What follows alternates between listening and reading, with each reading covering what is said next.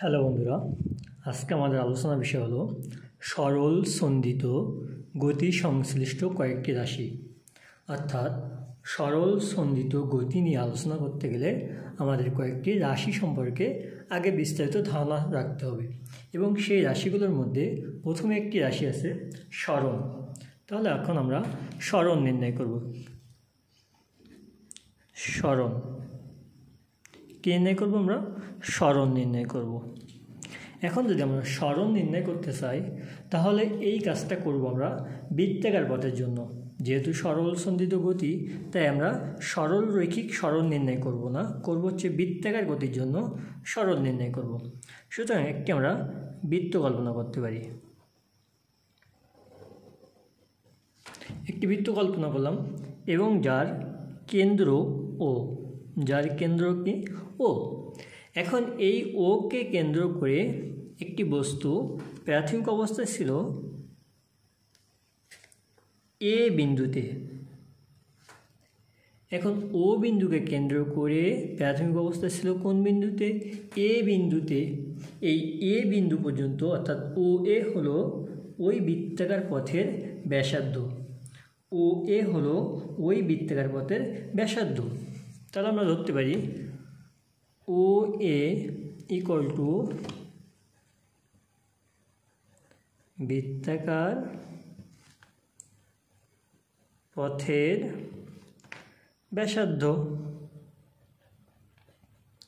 এবং সেই ব্যাসার্ধকে আমরা যদি বড় হাতের এ দিয়ে প্রকাশ করি, কি দিয়ে প্রকাশ করি? বড় হাতের এ দিয়ে প্রকাশ করি।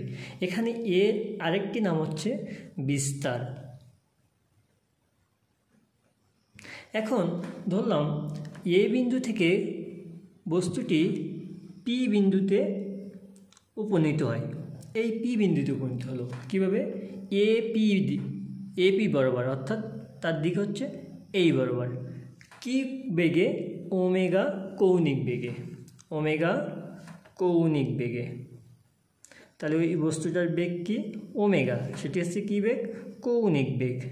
এখন যদি এ থেকে পি বিন্দুতে আসে, তাহলে আমরা কি করতে পারি? এ পি ওপি যোগ করলাম। এখন ওপি যোগ করার ফলে আমরা এই ওকে কেন্দ্র করে যদি আমরা একটা ব্যাস আঁকি, যেটিকে দিলাম আমরা বিডি একটি ব্যাস। এখন এই পি বিন্দুকে কেন্দ্র করে ও বি এর উপর একটি লম্ব আঁকি। পি বিন্দুকে কেন্দ্র করে ও বি এর উপর একটি লম্ব আঁকি। তার মানে সেই লম্বটি আমাদের এন বিন্দুতে সেট করে ধরে নিলাম। এখন দেখা যাচ্ছে আমার বস্তুটি কিন্তু আছে কোথায়? এ বিন্দু থেকে পি বিন্দুতে উপনীত হয়েছে। এ বিন্দু থেকে পি বিন্দুতে উপনীত হয়েছে। পি বিন্দুতে উপনীত হওয়া মানে এইখান থেকে এটি হচ্ছে আমাদের থিটা যেটা হচ্ছে কৌণিক সরণ। এটা কি থিটা এবং সেটি কি কৌণিক সরণ, তাহলে কৌণিক সরণ যদি হয়, ওমেগা হচ্ছে আমার কৌণিক বেগ, তাহলে সরলরৈখিকভাবে ও এই ও থেকে এন পর্যন্ত দূরত্ব অতিক্রম করে। ও থেকে এন পর্যন্ত দূরত্ব, যেটাকে আমরা এক্স ধরতে পারি। অর্থাৎ এটাই ছিল আমাদের কিন্তু সরণ, এক্স। এখন যদি আমরা এই থ্রিটাকে এখানে দেখা যায় কি, ও, এ এবং এন পি পরস্পরে কিন্তু সমান্তরাল। এবং ওপি তাদের সেদক। সুতরাং আমরা এই থিটা কোন ইকল টু এইটাকে কী করতে পারি?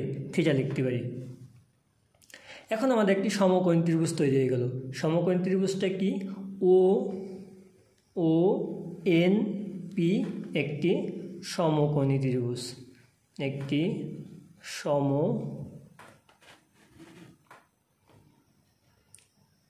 কোণী ত্রিভুজ। তাহলে ও এন পি একটি সমকোণ ত্রিভুজ যদি হয়, তাহলে সমকোণ ত্রিভুজের লম্ব কোণটি, আমরা এই এন কোণটা আছে সমকোণ। তাহলে আমরা জানি সমকোণের বিপরীত হচ্ছে অতির্ভুজ তাহলে এই ওপি হচ্ছে অতির্ভুজ এবং যার মান হচ্ছে এ কারণ ওপি কিন্তু আমাদের এই বৃত্তের ব্যাসার্ধ। এবং ও এন হলো কোণের বিপরীত এই থিটা কোণের বিপরীত কি ও এন তাহলে ভূমি। তাহলে ভূমি দেওয়া আছে অতির্ভুজ দেওয়া আছে। আর ভূমি আর অতির্ভুজের মধ্যে সম্পর্ক আছে সাইন থিটা তাই আমরা লিখতে পারি ত্রিভুজ ত্রিভুজ ও এন পি এর ও এন পি এর সাইন থিটা সাইন সমান লম্ব বাই অতির্ভুজ লম্ব ভাগ অতি। এখন আমার এখানে অতির্ভুজ কি? অতির্ভুজ এই বৃত্তের জন্য অতির্ভুজ হচ্ছে ও পি কারণ আমরা জানি সমকোণের বিপরীত বাহু অতির্ভুজ এবং কোণের বিপরীত বাহু হচ্ছে লম্ব, অর্থাৎ ও এন হচ্ছে লম্ব। তাহলে আমার লম্ব হচ্ছে ও এন অতির্ভুজ হচ্ছে আমার ও পি এখানে সাইন থিটা থেকে গেল। এখন দেখুন ও ওপি ওপি এর মান কত? ওপি হচ্ছে ওই বৃত্তের ব্যাসার্ধ। তাহলে ব্যাসার্ধকে আমরা কী দিয়ে প্রকাশ করছিলাম? এ দিয়ে বিস্তার। তাহলে ওপির জায়গায় এ লিখতে পারি। ও এন ছিল আমাদের ও এন ছিল আমাদের স্মরণ সেটিকে ধরেছিলাম আমরা এক্স তাহলে সাইন থিটা এখন আমরা এখান থেকে পেলাম x equal to a sine theta x equal to a sine theta তাহলে x equal to a sine theta হলো আমাদের স্মরণের রাশিমালা। X equal to a sine theta হলো আমাদের স্মরণের রাশিমালা। যেখানে এক্স হলো আমাদের স্মরণ এ হলো আমাদের বিস্তার, থিটা হলো আমাদের কৌণিক স্মরণ কৌণিক স্মরণ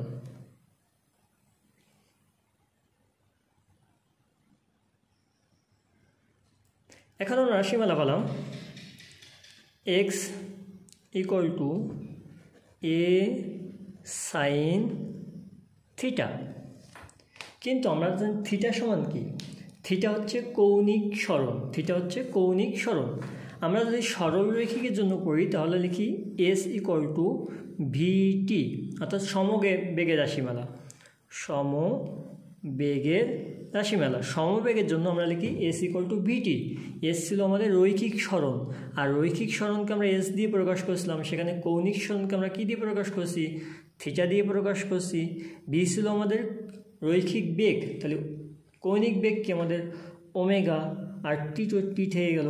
তাহলে থিটা ইকুয়াল টু কি লিখতে পারি?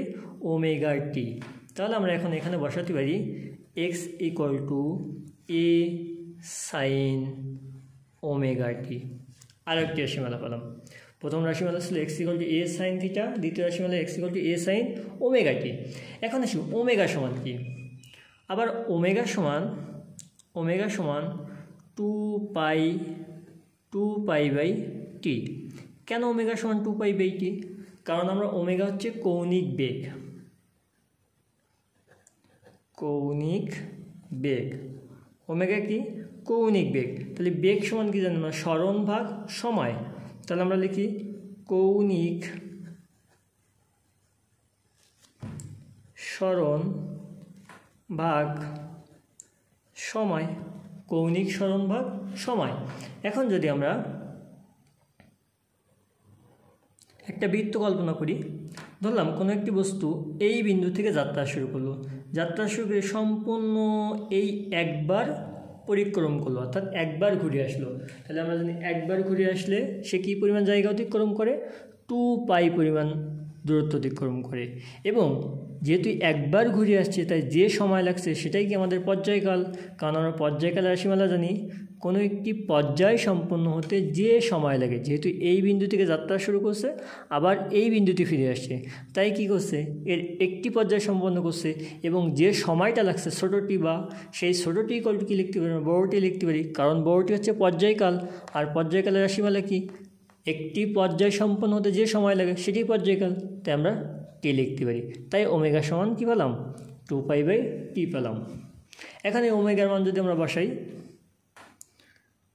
x equal to a sine two pi by বড়টি ইন্টু ছোটোটি এখন আবার জানি one by t one by t equal to f এটা ছিল কম্পাঙ্কের সাথে এফ হচ্ছে আমাদের কম্পাঙ্ক। এই বড়টি কিন্তু আমাদের পর্যায়কাল। পর্যায় কাল আর এফ কিন্তু আমাদের কম্পাঙ্ক। কম্পাঙ্ক। তাহলে ওয়ান বাই টি এর জায়গায় কী বসাতে পারি আমরা? এফ বসাতে পারি। তাহলে কী লিখতে পারি? X equal to a sine two pi গুণ ওয়ান বাই টি গুণ ছোটো টি তাহলে লিখতে পারি x equal to a sine two pi f t. Two pi f t. তাহলে আমরা স্মরণে কয়টি রাশিমালা পেলাম? প্রথম রাশি পেলাম ইসলাম।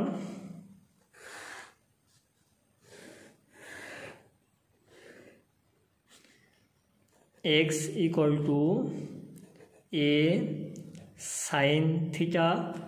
পরে আরেকটা রাশিমালা পেলাম। X equal to a sine omega t. পরে আরেকটা রাশিমালা পেলাম। X equal to a sine two pi ভাগ বড়টি ইন্টু ছোটোটি পরে পেলাম x equal to a sine two pi f ছোটোটি তার মানে আমরা এখান থেকে চারটি রাশিমালা পেলাম। এবং আরও একটি রাশিমালা পেতে পারি, সেটি যদি আমাদের আদি দশা দেওয়া থাকে, সেটি হচ্ছে x equal to a sine omega t plus del omega t plus del এখন আমার প্রশ্ন হলো, এই পাঁচটা রাশিমালার কখন কোন সূত্রটি ব্যবহার করব? প্রথমটা যদি আসি x equal to a sine theta ধরো তোমার স্মরণ নির্ণয় করতে বলল, কিন্তু বিস্তার দেওয়া আছে, কৌণিক স্মরণের মান দেওয়া আছে, তখন আমরা এই সূত্রটি ব্যবহার করব। এখন বিস্তার দেওয়া আছে, কিন্তু কৌণিক বেগ দেওয়া আছে, তাহলে ওমেগাটি এবং সময় দেওয়া আছে, তখন এ সাইন ওমেগাটি ব্যবহার করব।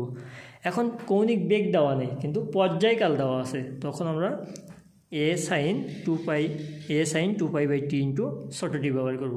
যদি পর্যায়কাল না দেওয়া থাকে, কম্পাঙ্ক দেওয়া থাকে, তাহলে আমরা টু পাই এফ টি, এই সূত্রটি ব্যবহার করব।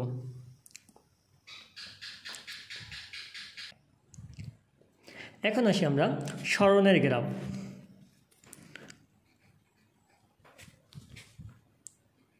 স্মরণ, বনাম বনাম, সময় এর লেখচিত্র।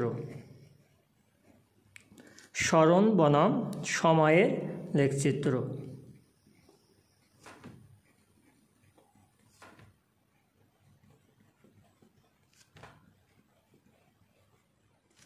ধরুন আমরা একটা ওয়েব আঁকলাম। এই ওয়েবটা এইখান থেকে, এটি কিন্তু একটি পূর্ণ পর্যায়। এই, এইখান থেকে যাত্রা শুরু করে যখন এই বিন্দুতে পৌঁছবে, তখন কিন্তু একটি পূর্ণ পর্যায় সম্পন্ন হবে। আর এই পূর্ণ পর্যায়টা সম্পন্ন হতে আমাদের পর্যায়কাল টি টি সময় লাগে। এখন এই পর্যায়কাল থেকে সম্পন্ন, এই পার্টটা কয়টা ভাগে ভাগ হয়েছে? কোনো একটি কণা। প্রথমে হচ্ছে এই যে উপরে উঠছে একটা পার্ট ওখান থেকে আবার নিচে নামছে, তাহলে আরও একটা পার্ট দুইটা পার্ট এবং এখান থেকে আবার এইখানে নামছে, তিনটা পার্ট এবং এখান থেকে ও এইখানে গেছে। তাহলে মোট চারটা পার্টে ভাগ হলো, অর্থাৎ চারটা ভাগে ভাগ হলো। আরও যদি সহজ করে বুঝতে চাই, তাহলে একটা বৃত্ত কল্পনা করি। বৃত্তকে আমরা তিনশো ষাট ডিগ্রি ধরি। তাহলে এটা যদি জিরো ডিগ্রি হয়, তাহলে এটা কত? Ninety degree. এটা কত? একশো আশি, এটা হচ্ছে দুশো সত্তর, আর এটা কত? তিনশো ষাট। তার মানে এই জিরো থেকে যখন নব্বই ডিগ্রিতে গেছে, যে সময় লাগছে, অবশ্য নব্বই থেকে একশো আশিতে আসতে সেই সময় লাগবে। একইভাবে একশো আশি থেকে দুশো সত্তর থেকে একই সময় লাগবে, দুশো সত্তর থেকে তিনশো ষাটে যেতে কিন্তু একই সময় লাগবে। তাহলে এখানে যদি সর্বমোট টি সময় লাগে, তাহলে একটা একটা পার্টের জন্য কত হবে? মোট চারটা পার্ট তাহলে চারটা পার্টের জন্য কি? টি বাই ফোর সময় লাগবে। অর্থাৎ এখান থেকে এই পর্যন্ত যেতে টি বাই ফোর সময় লাগবে, একইভাবে এখান থেকে এই পর্যন্ত যেতে টি বাই ফোর সময় লাগবে, একইভাবে এখান থেকে এই পর্যন্ত যেতে টি বাই ফোর সময় লাগবে, একইভাবে এখান থেকে এই পর্যন্ত যেতে টি বাই ফোর সময় লাগবে। অর্থাৎ প্রত্যেকটি ভাগের জন্য প্রত্যেক নব্বই ডিগ্রি অতিক্রম করতে আমার টি বাই ফোর সময় লাগবে। এখন প্রত্যেকটি ভাগ যদি অতিক্রম করতে টি বাই ফোর সময় লাগে, তাহলে আমরা ধরি, আবার রাখলাম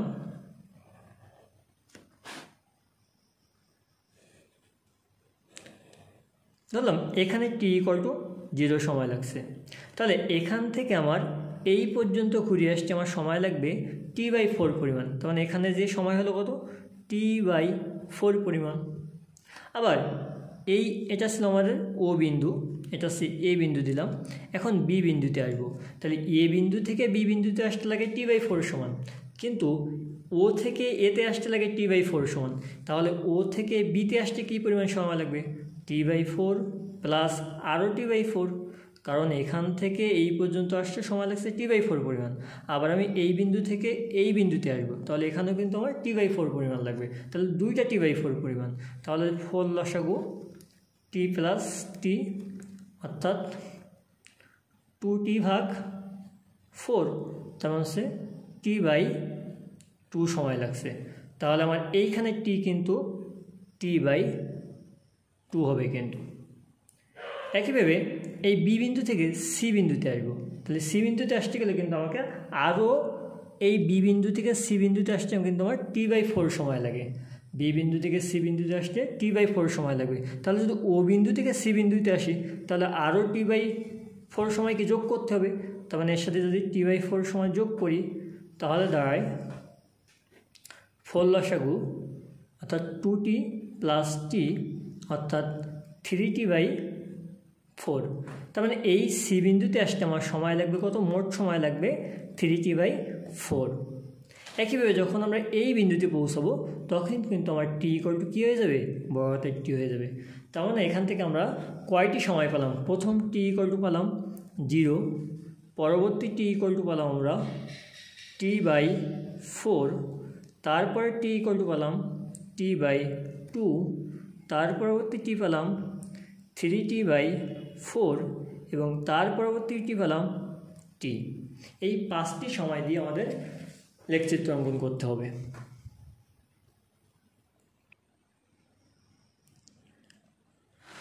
এখন আসি। আমরা জানি কি সমীকরণটা কী ছিল? আমরা জানি x equal to a sine omega t x equal to ছিল কি এ সাইন এটাকে যদি আমরা একটু ভালো করে লিখি, তাহলে a equal to a sine omega সমান কি ছিল?